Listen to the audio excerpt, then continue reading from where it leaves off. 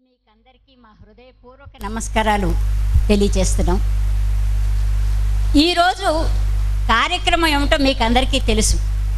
చెన్నుపాటి విద్య గారు Telugu book of రికార్డ్స్లో ప్రతిష్టాత్మకంగా స్థానాన్ని పొంది ఆ స్థానం ఆవిడకి వచ్చింది అని తెలుగు బుక్ ఆఫ్ రికార్డ్స్ వారు ఈరోజు ధృవీకరణ పత్రాన్ని ఇస్తున్నారు. మరి అంతటి ధృవీకరణ అంటే ఒక ప్రతిష్టాత్మకమైనటువంటి స్థానం పొందాలి అంటే ఇది ఒక రోజులో రెండు రోజుల్లో వచ్చింది కాదు. జీవితమంతా నిరంతరం దేని గురించి ఆశించకుండా దేన్ని గురించి లెక్క చేయకుండా అది ఒక సేవా స్రవంతిలాగా దాదాపు అరవై సంవత్సరాల పైబడి ఆవిడ సేవ చేస్తూ వచ్చారు కాబట్టి ఆవిడ వల్ల ప్రతి ఇంట ప్రతి వ్యక్తి కూడా ఉత్తే ఉత్తేజం పొంది ఉత్సాహం పొంది జీవితంలో నిజంగా ఒక స్థాయిని పొందాడు. మనిషి ఉన్నతుడయ్యాడు అంటే ఆ కుటుంబం ఆ సమాజం ఆ దేశం కూడా ఉన్నతత్వాన్ని పొందుతుంది. ముఖ్యంగా చెప్పాలి అంటే ఒక దేశం గొప్పది ఎప్పుడు అవుతుంది అంటే దాంట్లో ఉన్న వ్యక్తులందరూ గొప్పవాళ్ళై ఆ వ్యక్తులు చదువుకున్న వాళ్ళై స్టేబుల్ మైండెడ్ అంటే వాళ్ళందరూ స్థిర చిత్తంతో ఉన్నవాళ్ళైతేనే ఆ దేశం గొప్పదవుతుంది. అంటే వ్యక్తి కుటుంబం సమాజం దేశం స్థిరంగా ఉండాలంటే ముందు దానికి పునాది వ్యక్తి అనమాట ఒకసారి కొమాండూరు సంపత్ కుమార్ గారని గుంటూరులో చాలా పెద్ద అంటే నేను ఎనభై ఎనిమిదిలో రికార్డు చేయడానికి వెళ్ళినప్పుడే ఆయన తొంభై ఎనిమిది సంవత్సరాల వ్యక్తి. ఆయన్ని మామూలుగా మీరు ఇండిపెండెన్స్ డేకి మాకు ఒక సందేశం ఇవ్వరా అని ఆకాశవాణిలో పనిచేస్తున్నప్పుడు వెళితే ఆయన ఒకటే ముక్క చెప్పారండి. అయ్యా దేశ రాష్ట్రపతి గారు ప్రధానమంత్రి గారు ప్రజలారా మీకు అందరికీ నమస్కారం పెట్టి ఒక్కటే మాట చెప్తాను. మనకు ఒక దేశం ఉందని గుర్తుపెట్టుకోండి అని చెప్పనమాట. అంటే దేశం ఉందని గుర్తుపెట్టుకుంటే తప్పకుండా దేశ శ్రేయస్సు కోసమే పనిచేస్తాను తప్ప దానికి భిన్నంగా ఎప్పుడూ పని అలాగే ఒక సంఘ సంస్కర్త అంటే దానికి ఉండవలసినటువంటి అంటే ముఖ్యమైనటువంటి లక్షణాలు ఏంటంటే మానవతా హృదయం ఉండాలి. ఆ మానవతా హృదయం ఉంటే అప్పుడు పక్క వాళ్ళ కష్టాలు గుర్తుపెట్టుకుని అరే నేను పైకి వస్తున్నాను నాతో పాటు చుట్టూ ఉన్న వాళ్ళు కూడా పైకి రావాలి అన్నటువంటి ఒక ఉద్దేశంతో తాను ముందుకు నడవడమే కాకుండా అందరినీ నడిపించేటటువంటి శక్తితోటి దాదాపు అంటే చిన్నప్పటి నుంచే ఆవిడ చేస్తూ ఉన్న అరవై సంవత్సరాలు పైబడి ఈ సమాజ సేవలో ఆవిడ నిరంతరం కృషి చేస్తూ జీవితాన్ని అంకితం చేసుకున్నటువంటి విద్య గారికి ఈరోజు మరి ఈ వరల్డ్ తెలుగు బుక్ ఆఫ్ రికార్డ్స్లో స్థానం పొందుతున్నందుకు మనందరి ఆనందాన్ని ఒక్కసారి చప్పట్ల ద్వారా తెలియచేయండి. ఆవిడ అదృష్టం ఒకటి ఏమిటంటే ముఖ్యంగా గోరా గారు అటు సరస్వతి గోరా గారు ఇద్దరూ కూడా మంచి సేవాభావంతో త్యాగ నిరతితోటి అందరూ నా వారే. ఈ సమాజం అందరూ నా కుటుంబ సభ్యులే అన్నట్లు వాళ్ళు అందరినీ ఆదరించి అందరి కష్టాలు తమ కష్టాలుగా వాళ్ళ కష్టాలను పోగొట్టడానికి చూసి వారితోటే ఉండి వారితో నడిచి శ్రమించినటువంటి ఒక ఆదర్శ జీవితం తల్లిదండ్రుల ద్వారా కుటుంబం ద్వారా ఆవిడకి చిన్నప్పటి నుంచి వచ్చింది. ఇది కాకుండా ఆవిడకి అటు భర్త వైపు నుంచి కూడా చాలా అంటే ప్రాక్టికల్ లైఫ్ అన్నమాట. ఈ సమస్య ఉంది అంటే ఆ సమస్యకు పరిష్కారం కనుక్కోవాల్సిందే. ఆ పరిస పరిష్కారం కూడా మనలోనే ఉంటుంది అన్నటువంటి ఒక దీక్షతోటి పనిచేసేటటువంటి శేషగిరిరావు గారు ఆవిడ భర్త అయ్యారు ఇక ఇటు తల్లివైపు కుటుంబ సభ్యులు మరి అందరూ కూడా సంఘ సంస్కర్తలు సంఘం కోసం నిరంతరం త్యాగం శ్రమించేవారే. ఇటు భర్త వైపు వారు కూడా ఓ ఈ పని మనం చెయ్యాలా? అయితే దీనికి పరిష్కారం అంటూ వాళ్ళందరూ కూడా ముందుకొచ్చి తమకున్న దాన్ని పంచుకుని సహాయం చేసేటువంటి తత్వం కలవారే. అయితే ఇక్కడ ఇంకో చిన్న తమాషా కూడా ఉంది. వాళ్ళిద్దరితోటే ఆగిపోలేదు. వాళ్ళ తర్వాత తరం తర్వాత తరం కూడా ఈ సేవాభావాన్నే అంటే మన వాళ్ళు టార్చ్ ఆఫ్ లైఫ్ లాగా జీవితాంతం పెట్టుకుని వాళ్ళు ఒక్కొక్కళ్ళు మొత్తం తరతరాల కుటుంబం కూడా ఈ సేవ చేయాలి అనే తృష్ణతోటి ఉన్నటువంటి వారు కాబట్టి మరి ఇవాళ ఆవిడికి ప్రధానోత్సవం చేస్తున్నందుకు నిజంగా Telugu book of world records వారిని అభినందిస్తున్నాను. ఇక ముందు అంటే తర్వాత కార్యక్రమానికి వెళ్ళే ముందు వేదిక మీదకి సభ్యులందరినీ ఈనాటి కార్యక్రమానికి విచ్చేసిన పెద్దలందరినీ కూడా ఆహ్వానిస్తాను. డాక్టర్ సమరం గారు ఈనాటి సభాధ్యక్షులు. సమరం గారి పేరు వినగానే మీకు అందరికీ తెలుసు. ఆయన పెద్ద డాక్టర్. దాదాపు రెండు వందల పదిహేను పుస్తకాలు.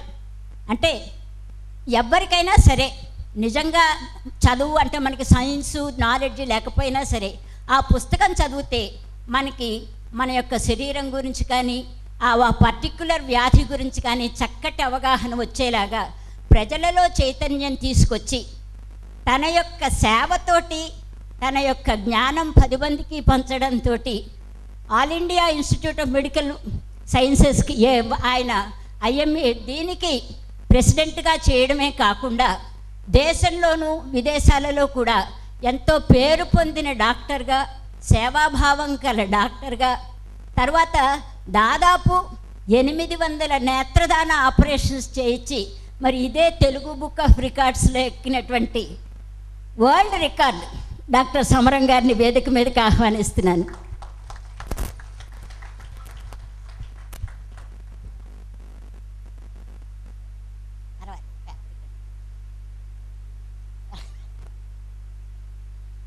ఇక తర్వాత బుద్ధప్రసాద్ గారు ఇంకా వస్తూ ఉన్నారు వస్తారు. ఈనాడు ముఖ్యంగా ఈ అవార్డుని స్వీకరించబోతున్నటువంటి చెన్నుపాటి విద్య గారిని పార్లమెంటు మాజీ సభ్యురాలిని గారిని కూడా వేదిక మీదకి రావాల్సిందిగా ఆహ్వానిస్తున్నాను.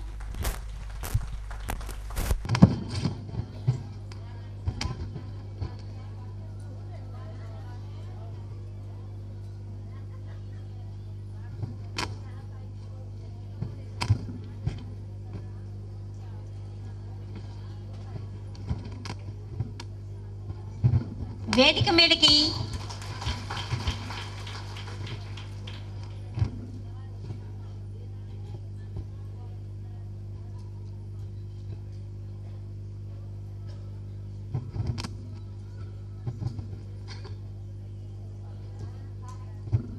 భారతీయ సంస్కృతి ముఖ్యంగా తెలుగు సంస్కృతి వాటికి సంబంధించినటువంటి ఎన్నెన్నో అంశాలను పది మందికి చెప్తూ వాటి రికార్డ్స్కి ప్రాధాన్యతనిస్తున్నారు తెలుగు బుక్ ఆఫ్ రికార్డ్స్ వారు.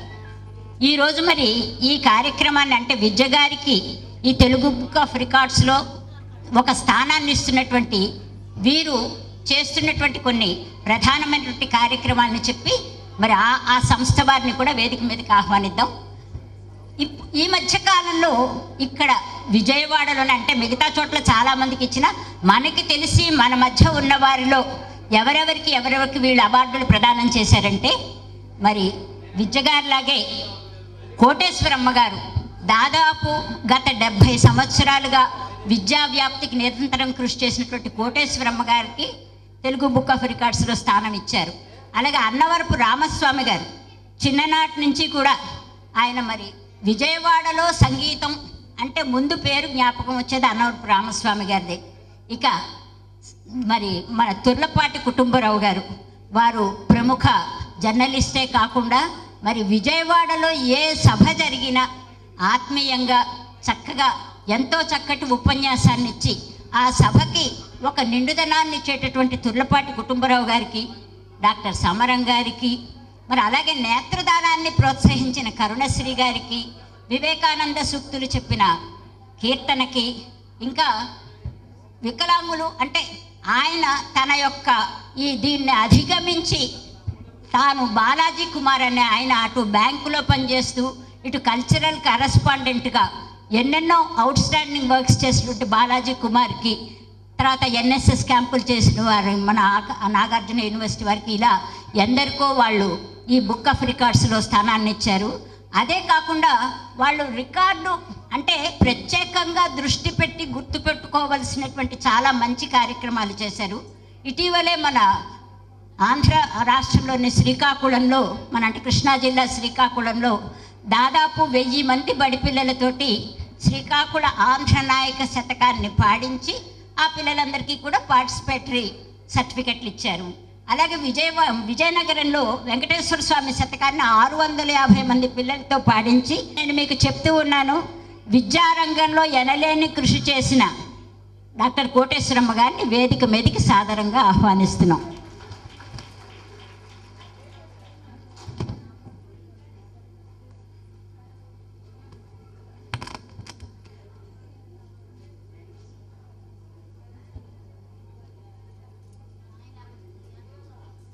అలాగే కృష్ణా జిల్లా కోఆర్డినేటర్ తెలుగు బుక్ ఆఫ్ రికార్డ్స్కి శ్రీమతి టి కనక మహాలక్ష్మి గారిని వేదిక మీదకి పిలుస్తున్నాను.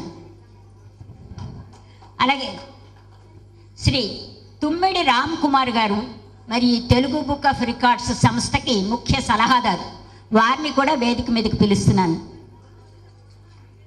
రామ్ కుమార్ గారు.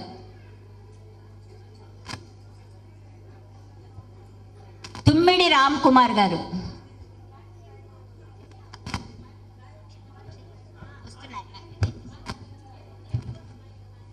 ఇక ఈనాటి విశిష్ట అతిథులు.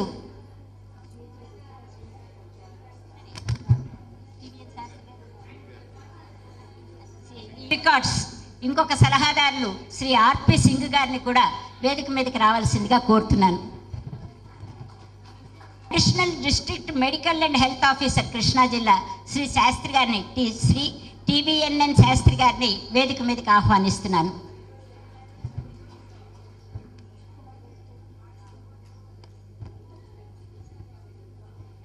అలాగే మన కృష్ణా జిల్లా మహిళా శిశు సంక్షేమ శాఖ project director Srimati K Krishnakumari గారిని కూడా వేదిక మీదకి ఆహ్వానిస్తున్నాను.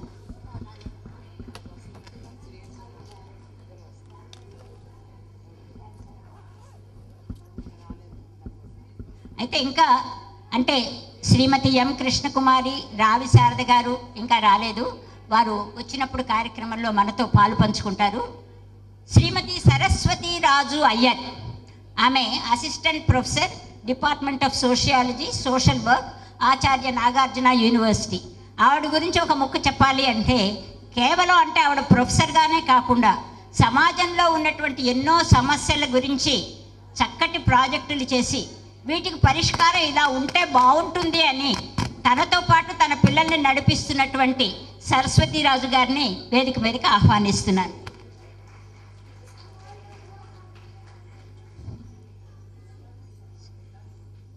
కవయిత్రి అందరినీ తన యొక్క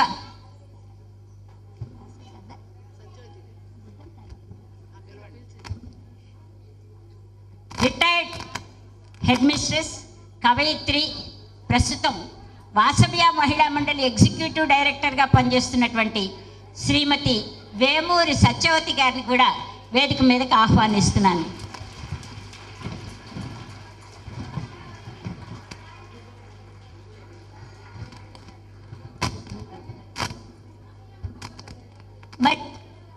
ఇవాళ చెప్పారు ఇంతటి స్థానాన్ని పొందారు అంటే దానికి మన ముఖ్య కారణం ఇందాకే చెప్పుకున్నాం. అటు కుటుంబం ఇటు కుటుంబం అందరూ కూడా కలిసి చేదోడు వాదోడుగా శ్రమించినప్పుడే ఇది సాధ్యమవుతుందని. మరి ఈరోజు విద్యగారి కుటుంబం అంటే ఆవిడతో పాటు కలిసి ఈ సేవా కార్యక్రమాలలో నిరంతరం శ్రమిస్తున్నటువంటి శ్రీమతి జి రశ్మి గారిని వేదిక మీదకి ఆహ్వానిస్తున్నాను. వాళ్ళ పెద్దమ్మాయి. అలాగే డాక్టర్ కీర్తి ఏదైనా టెక్నికల్గా మాకు కావాలి అంటే అంటే మాకు ఒక ఐడియా వస్తుంది. దాన్ని నిజంగా ఈనాటి పరిభాష పదాలతోటి చక్కటి దీంతో టెక్నికల్గా రాయగలిగిన సమర్థత ఎవరికి ఉంది అంటే మా కీర్తికి. అందుకని మా టెక్నికల్ ఆఫీసర్ కీర్తి గారిని మరి విద్య గారి రెండో అమ్మాయిని వేదిక మీదకు పిలుస్తున్నాను.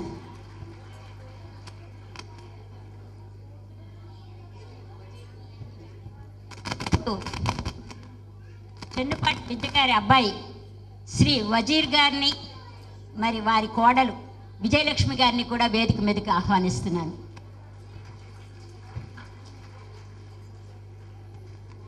శ్రీమతి విజయలక్ష్మి గారు శ్రీ వజీర్ గారు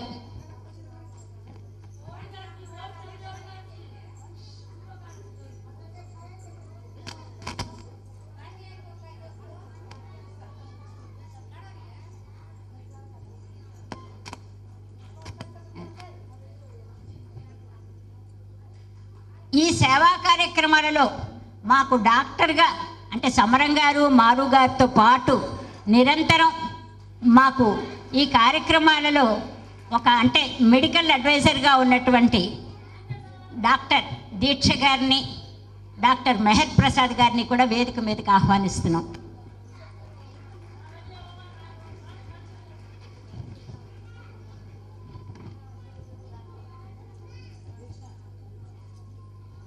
గారు వేదిక మీదకి రావాలి.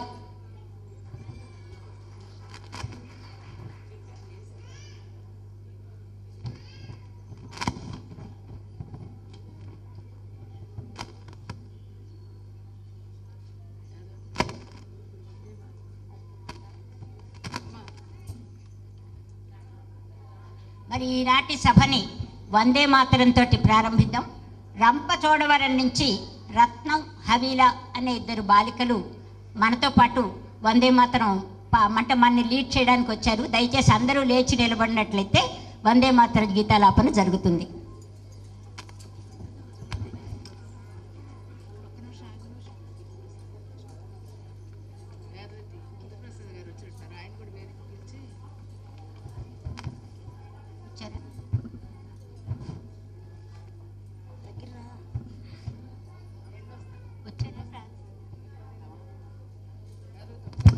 విశేషం అంటే మన ము- ఈనాటి ముఖ్య అతిథి శ్రీ మండలి బుద్ధప్రసాద్ గారు కూడా విచ్చేశారు.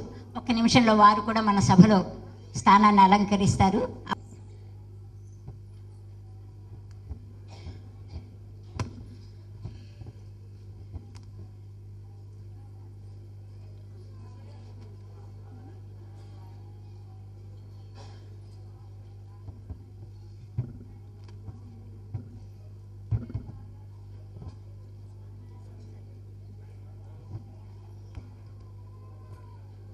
అందరూ దయచేసి నిశ్శబ్దంగా ఉండవలసింది. వందే మాత్రం గీతాలాపన జరుగుతుంది. మరి అందరూ కూడా మీ కంఠాలను జోడించి పాడవచ్చు.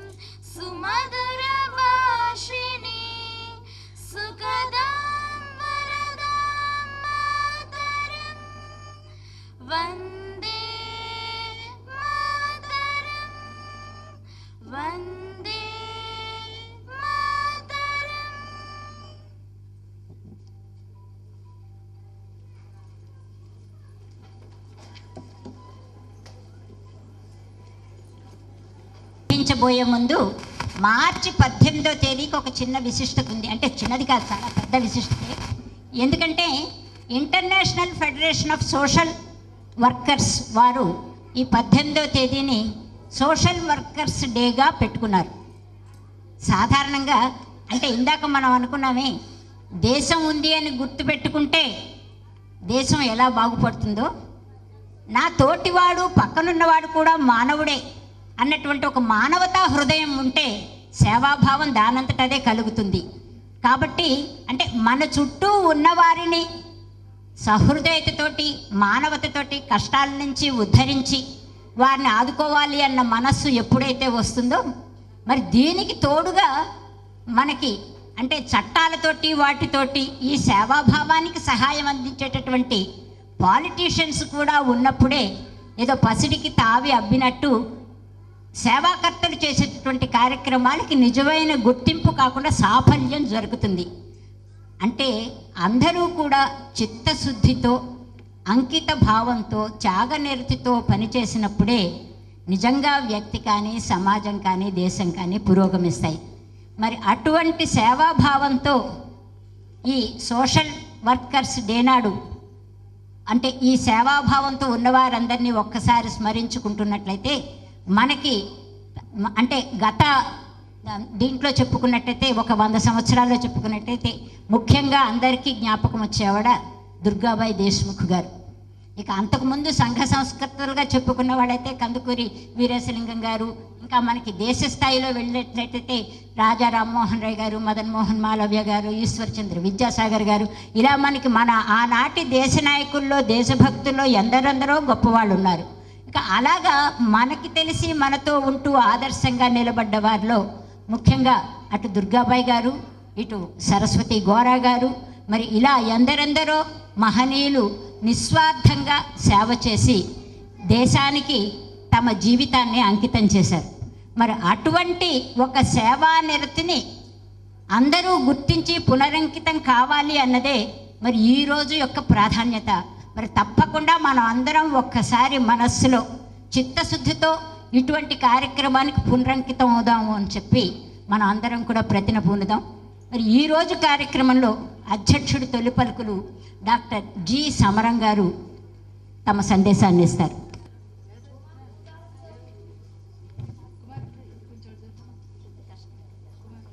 శ్రీమతి చెనుపాటి విద్య గారికి తెలుగు బుక్ ఆఫ్ రికార్డ్స్లో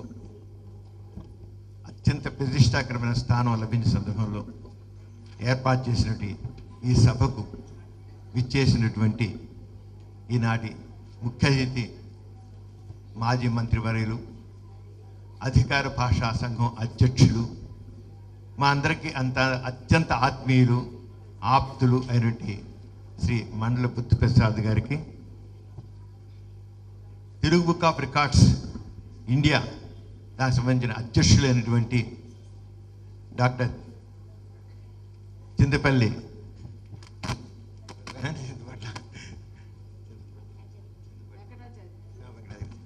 చింతపట్ల. వెంకటాచారి గారికి నాలో తెలియని ఒక ఉద్వేగం వచ్చింది. దాంతో పేరు సన్నగా మర్చిపోయాను అనుకోండి సార్ సార్. చాలా ఎక్సైటింగ్ అనిపించింది నాకు. ఆయన ఎందుకు వచ్చినా కూడా తల చెప్తాం మీకు అది. చింతపల్లి వెంకటాచారి గారు ఈ book of Telugu book of రికార్డ్స్ని ఆయన ఏర్పాటు చేసి కేవలం సంవత్సరం మూడు మాసాలైంది అంతే. తిరుపతిలో ప్రపంచ తెలుగు సభలు జరిగినప్పుడు మండల బుద్ధప్రసాద్ గారి ఆధ్వర్యంలో ఈ తెలుగు బుక్ ఆఫ్ రికార్డ్స్ ఏర్పాటు చేశారు. దాని ప్రధాన ఉద్దేశం ఏంటంటే ప్రపంచంలో తెలుగువాడు అన్నవాడు ఎక్కడున్నప్పుడు కూడా ప్రతిభ ఉన్నట్లయితే ఆ ప్రతిభను గుర్తించి అతను వెలుగులో తీసుకురావాలి. అది సాహిత్య రంగం కావచ్చు సాంస్కృతిక రంగ- రంగం కావచ్చు సామాజిక రంగం కావచ్చు విద్యారంగం కావచ్చు ఏ రంగమైనా కానీ అది క్రీడలు కావచ్చు పాటలు కావచ్చు మాటలు కావచ్చు ఏదైనా సరే తెలుగువాడు ప్రపంచంలో ఏ మారుమూల ఉన్నప్పుడు కూడా వాడిని గుర్తించి వాళ్ళని గుర్తించి అవార్డు ఇవ్వాలి అని చెప్పి ప్రారంభించి చేసిన ఒక కేవలం ఒక సంవత్సరం మూడు మాసాల్లో వందకు మందికి పైగా ప్రపంచవ్యాప్తంగా వాళ్ళు టూ హండ్రెడ్. రెండు వందల మంది. పైగా ప్రపంచవ్యాప్తంగా ఒక విజయం ఒక ఆంధ్రప్రదేశ్ కాదు ఒక ఇండియా కాదు ప్రపంచంలో ఉన్న తెలుగు వాళ్ళందరినీ తీసుకొచ్చారు. అది నాలో ఈ చూసిన అందరూ ఇక్కడ ఇంత ఇదిగా ఈ కార్యక్రమం చూస్తుంటే ఎక్సైట్మెంట్ మా చింతపల్లి వెంకటాచారి పేరు సడన్గా గుర్తు రాలేదు అది అంచేత ఒక అది ఎంత ఉత్పత్తిగా ఇవ్వాల్సి వచ్చింది వారికి నా అభినందన తెలియజేసిన సింగిల్ మ్యాన్గా ఆయన చాలా దగ్గర కృషి చేసి వచ్చారు. వారికి అభినందన వారికి స్వాగతం పలుకుతున్నాను. అలాగే కృష్ణా జిల్లాకి ఈ తెలుగు బుక్ ఆఫ్ రికార్డ్స్కి కోఆర్డినేటర్గా ఉన్నటువంటి కనక మహాలక్ష్మి గారు తెలుగు కాఫ్ రికార్డ్స్కి అడ్వైజర్గా ఉన్నటువంటి ప్రా- ప్రాస సామ్రాట్ ఏమిటి సింగ్ గారు. ఆయన మాట మాడితే చాలు ప్రాసలు ఎదులుతుండే పనులు ఉంటాయి